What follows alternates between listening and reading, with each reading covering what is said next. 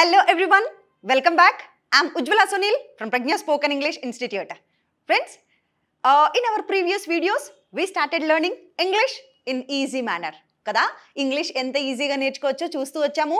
This is another video for you and before starting this class class start చేసే ముందుగా I would like to start with a small thought okay ఒక చిన్న మాటతో class start చేయాలని ఇష్టపడుతున్నాను. ఏంటి ఆ వర్డ్ ఈరోజు మీకోసం నేను తీసుకొచ్చిన సెంటెన్స్ ఏంటి అని అంటే be a warrior not a worrier be a warrior not a worrier మనం ఎలా ఉండాలి అని అంటే మన థాట్స్ విషయంలోనా మన కష్టాల విషయంలోనా మనకు వస్తున్న హర్డిల్స్ విషయంలోనా మన జీవితంలో ఫేస్ చేస్తున్న ఇబ్బందుల విషయంలోనా whatever it might be ఏదైనా అయి ఉండొచ్చు మనం వాటన్నిటినీ జయించే యుద్ధ వీరులాగా ఉండాలంట. ఒక వారియర్ లాగా ఉండాలి. ఇంగ్లీష్ ఇస్ నథింగ్ అండి. మనం మన జీవితాల్లో ఫేస్ చేస్తున్న ప్రాబ్లమ్స్ని తలుచుకుంటే అండ్ ఎంతోమంది ఈ ప్రపంచంలో ఎన్నో చేయగలుగుతున్నారు కదా?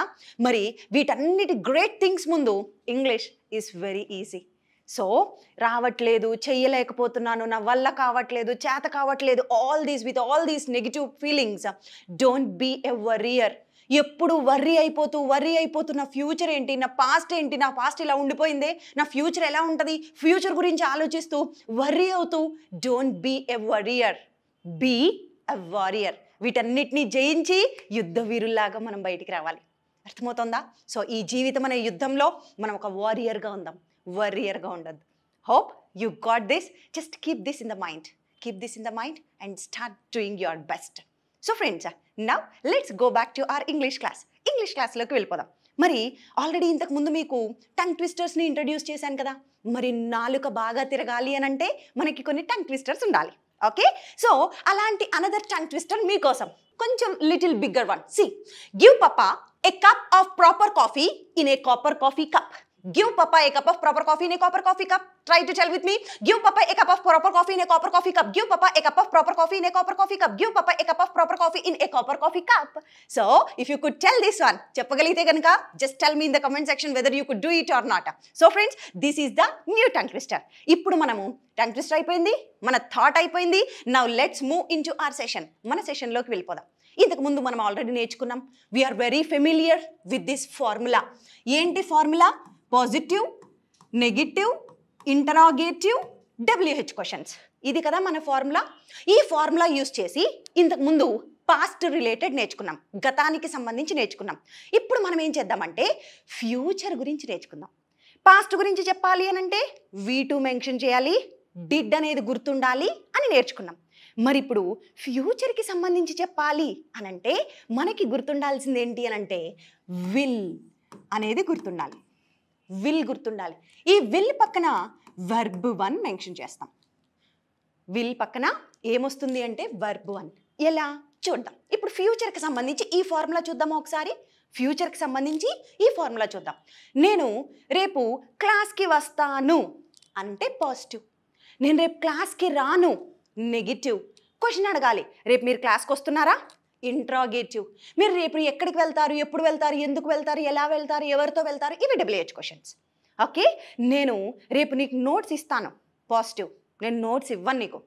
నెగిటివ్ మీరు నాకు నోట్స్ ఇస్తారా? ప్లీజ్ ఇంట్రాగేటివ్ మీరు ఏమి ఇస్తారు ఎప్పుడు ఇస్తారు ఎందుకు ఇస్తారు ఏం చేస్తారు ఎలా చేస్తారు ఇవన్నీ డబ్ల్యూహెచ్ క్వశ్చన్స్ అర్థమైంది కదా? ఫార్ములాలో ఇప్పుడు ఫ్యూచర్ గురించి నేర్చుకుందాం. అయితే ఫస్ట్ మనకి తెలియాల్సిందేంటి? సబ్జెక్ట్స్ ఉండాలి. ఓకే? నేను. అంటే ఇంగ్లీష్లో ఏం చెప్తానంటే ఐ చెప్తాను. నీవు అంటే యు చెప్తాం. అతను హీ ఆమె షీ. వాళ్ళు లేక వారు దే. మనము లేక మేము we. Okay? So these are all called subjects. ఇప్పుడు మన ఫార్ములాలో ఫస్ట్ వన్ పాజిటివ్. పాజిటివ్ గురించి చూద్దాం. నేను రేపు క్లాస్కి వస్తాను. రావడాన్ని ఏమంటామంటే కమ్ అంటాం. ఓకే? వెళ్ళడాన్ని గో అంటాం. మాట్లాడడాన్ని స్పీక్ అంటాం. కలవడాన్ని మీట్ అంటాం. ఆడడాన్ని ప్లే. ఇప్పుడు ఈ వర్బ్స్ తీసుకొని కొన్ని ఎగ్జాంపుల్స్ చూద్దాం. ఓకేనా? ఈ వర్బ్స్ యూస్ చేసి మనం పాజిటివ్ నెగిటివ్ చూద్దాం. ఓకే? నేను రేపు నేను రేపు ఇన్స్టిట్యూట్కి వస్తాను. ఐ ఫ్యూచర్ కదా రేపు అంటే ఫ్యూచర్కి సంబంధించి ఏం పెట్టాలని నేర్చుకున్నాము? విల్ నేను రేపు ఇన్స్టిట్యూట్కి వస్తానంటే I will come to institute మరి నేను వస్తానంటే ఐ విల్ కమ్ మీరు రేపు ఇన్స్టిట్యూట్కి వస్తారు. You will come to institute అతను ఇన్స్టిట్యూట్కి వస్తాడు. హీ విల్ కమ్ ఆమె వస్తుంది. షీ విల్ కమ్ వాళ్ళు వస్తారు. దే విల్ కమ్ మనం వస్తాం. వై విల్ కమ్ నేను రేపు మూవీకి వెళ్తాను. ఐ గో టు మూవీ మీరు వెళ్తారు. యు విల్ గో అతను వెళ్తాడు. హీ విల్ గో ఆమె వెళ్తుంది. షీ విల్ గో వాళ్ళు వెళ్తారు. దే విల్ గో మనం వెళ్తాం. Will go okay? And one more thing. మనము చాలా సందర్భాల్లో రాసినప్పుడు ఐ విల్ని ఐ అని రాసి ఇలా చూసే ఉంటారు మీరు. ఇలా చూసే ఉంటారు కదా? ఇలా రాసాము అని అంటే దాని మీనింగ్ ఏంటంటే విల్ని షార్ట్కట్లో ఇలా రాస్తాం. సో దీనిని విల్లుగా కాకుండా చూడండి. విల్ అంటే తెలుగులో ఇలా పలుకుతాం కదా? ఇలా విల్లా కాకుండా ఈ వీని కట్ చేసేసి దీన్ని ఒక్కదాన్ని పలకండి. ఐ పక్కన దీన్ని పలకడాన్ని పైన అది పలకాలి. చూద్దాం. నేను రేపు క్లాస్కి వస్తాను. I will come to class. తప్పు కాదు కరెక్టే. ఇది కొంచెం పాష్గా ఉంటుంది స్టైల్గా ఉంటుంది. ఎలా చెప్పొచ్చు అంటే ఐల్ కమ్ ఐ విల్ అనట్లే ఐల్ కమ్ ఐల్ ఇల్. ఇది మాత్రమే పలుకుతాను ఐల్ కమ్ టు క్లాస్ మీరు వస్తారు. యుల్ కమ్ అతను వస్తాడు. He will come to class he will ప్లేస్లో ఏం చెప్పొచ్చు? He'll come okay? అతను రేపు గేమ్స్ ఆడతాడు. హిల్ ప్లే గేమ్స్ అతను నేను కలుస్తాడు ఈరోజు evening he'll meet you this evening okay? So instead of will try using ill పలకడానికి ట్రై చేయండి. ఓకే? కొంచెం స్టైల్గా ఉంటుంది. అంతే తప్ప మిస్టేక్ ఏం కాదు. కరెక్ట్. ఇలా యూజ్ చేయొచ్చు. అండ్ నా విల్ గో హెడ్ నేను రేపు క్లాస్కి వస్తానంటే ఐ విల్ కమ్. నేను రేపు ఇంగ్లీష్ మాట్లాడతాను. I'll speak English. నేను నెక్స్ట్ వీక్ కలుస్తాను మిమ్మల్ని. I'll meet you next week. నేను ఈరోజు ఈవినింగ్ గేమ్స్ ఆడతాను. I'll play games this evening. So this is positive. This is positive. మరి ఫార్ములాలో ఫస్ట్ వన్ అయిపోయింది. మరి ఫార్ములాలో సెకండ్ వన్ ఏంటి? నెగిటివ్ సెంటెన్సెస్ చెప్పడం. చెయ్యను రాను వెళ్ళను వినను తినను పాడను పడుకోను ఇలా లేదు లేదు అని నెగిటివ్గా చెప్తాం.